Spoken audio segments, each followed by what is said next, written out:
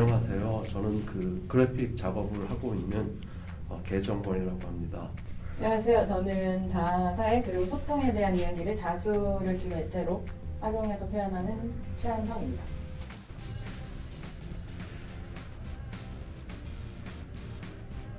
요즘 코로나가 확진자가 어마어마하게 또 늘고 있긴 하더라고요. 네, 그러니까요. 예, 어떠세요, 작가님은 요즘?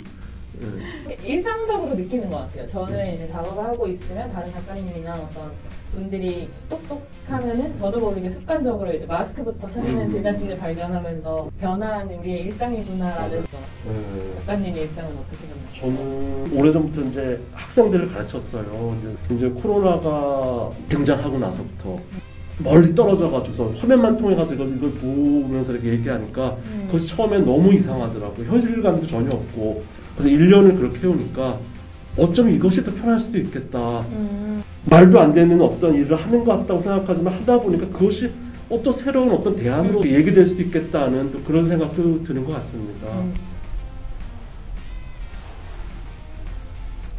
리차드 해밀턴이라는 작가가 팝 아티스트이자 콜라주로 그 시대의 현상을 얘기하는 작가라서 저희가 이제 진행하는 방식에서 뭐 공간들의 재조합이나 오브제들의 결합이 팝 아트랑 비슷한 맥락이 있다고 생각했고 그 전시 작품명에서 Homes라는 단어 자체도 그 당시 시대를 상징하는 단어로 사용된다는 의미에서 이제 저희가 선택한 그 Waves라는 단어도 상징적인 의미에서 작품명으로 사- 사용했죠.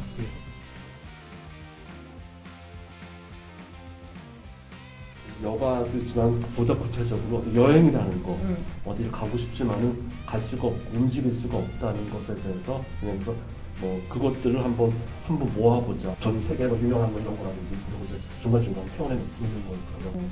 새로운 팀의 전시로 음. 한번 접목을 해보자 싶은 음. 마음에 오프라인과 아, 온라인 그렇죠. 전시가 같이 들어온 이유도 거기 중에 하나가 있는 것 같아요. 네. 그러니까 구름이에요. 그러니까 어, 작년 어떤 프로젝트 할 때 구름이 있었거든요. 민화에. 근데 뭐 쉽게 말하면 어떤 뭐 현대적으로 재해석하는 거긴 하지만 굉장히 기하학적인 형태를 바탕으로 해서 풀어 나가갔어요. 이것이 지금 코로나 이후의 세계를 얘기한다고 그때도 우리가 얘기했던 것이 이 코로나라는 것이 뭐 완전히 물리치고 없애고 이제 이런 것이 아니라 이제는 같이 지내갈 지낼 수밖에 없고 백신에 이런 거 있어가지고서 곳곳에 그 구름인지 물결인지 아니면 어떤 뭐 그 익숙하지 않은 것들이 우- 인간 곳곳에 이렇게 같이 배제해 있다는 어떤 그런 개념을 이렇게 집어넣게 된 겁니다.